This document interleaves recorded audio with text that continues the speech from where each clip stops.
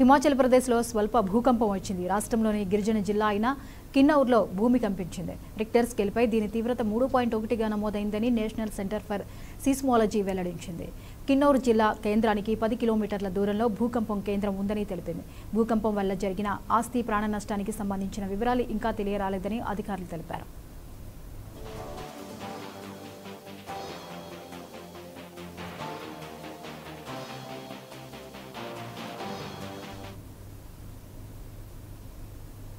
ఆఫ్ఘనిస్తాన్ నుంచి అమెరికా